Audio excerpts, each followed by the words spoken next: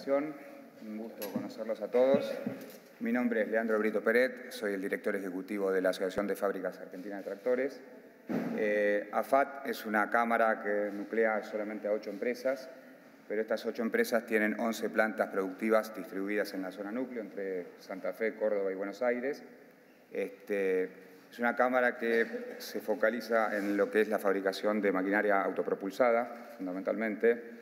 Eh, tenemos entre las 11 plantas este, alrededor de 600.000 metros cuadrados de superficie fabril, una capacidad instalada de alrededor de 12.000 tractores, de 4.000 cosechadoras, 700 pulverizadoras. ¿sí?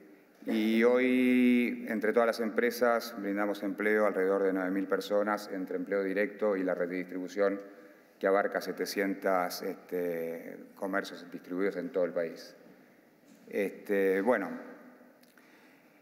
la verdad que nosotros pensando en una ley marco, una ley de maquinaria agrícola, realmente la apoyamos fervientemente, hace mucho venimos este, conversando al respecto y nosotros entendemos que tener una ley que de marco al, desarrollo del negocio, el desarrollo competitivo del negocio, eh, se redunda en beneficio de todos. Son empresas que están acostumbradas a competir y son empresas que están acostumbradas a competir en distintos marcos regulatorios, con lo cual este, apoyamos este, que, exista una ley que defina esto.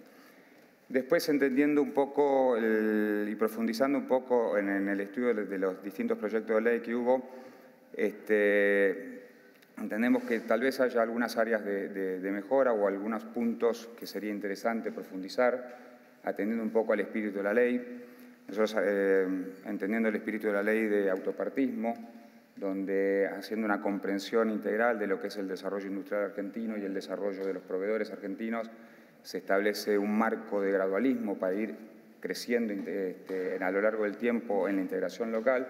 Tenemos que, eh, atendiendo también la problemática de lo que es el sector este específico de maquinaria agrícola, este, deberíamos acompañar ese concepto, este, ya le digo, desde el punto de vista conceptual de cómo ir logrando integrar este, cada vez más la maquinaria agrícola este, con contenido nacional.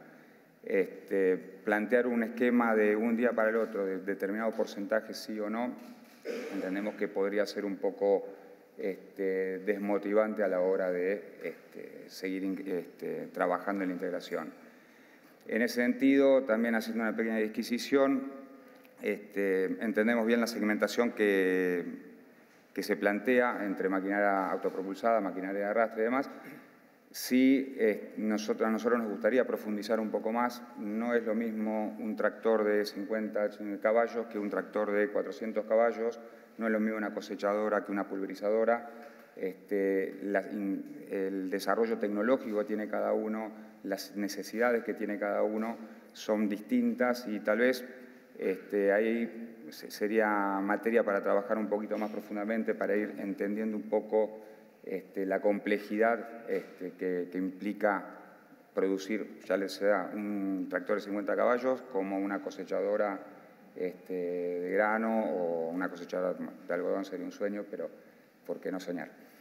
entonces, bueno, en ese sentido nosotros planteamos, por un lado, ver un tema de gradualismo a la hora de poner objetivos, ya sea un gradualismo tanto para los incentivos como, por supuesto, un gradualismo hacia los objetivos.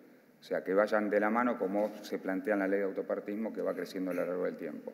Y dentro de ese gradualismo entender las diferencias que hay entre fabricar un tipo de máquina u otro tipo de máquina en el país.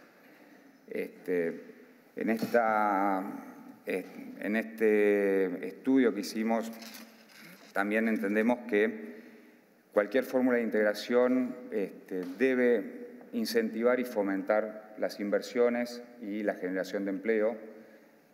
esto significa, por ejemplo, invertir hoy en una, en una línea de producción para desarrollar un nuevo producto no estaría contemplado con el concepto de pieza sobre pieza, pero esa línea de producción generaría más empleo, generaría más desarrollo de proveedores, generaría más este, economía y entendemos que eso debe ser incentivado, debe ser motivado, debe ser contemplado a la hora de, entender lo que es un producto nacional.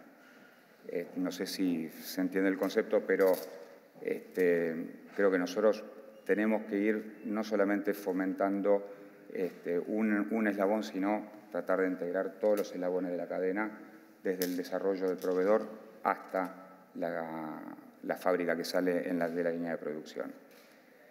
Y después, puntualmente, este, no, bueno, sin extenderme mucho más, eh, estos son los principales puntos que nosotros entendíamos en, esta, en, el, en el estudio de esta ley y desde ya, bueno, estamos a disposición para trabajar en conjunto.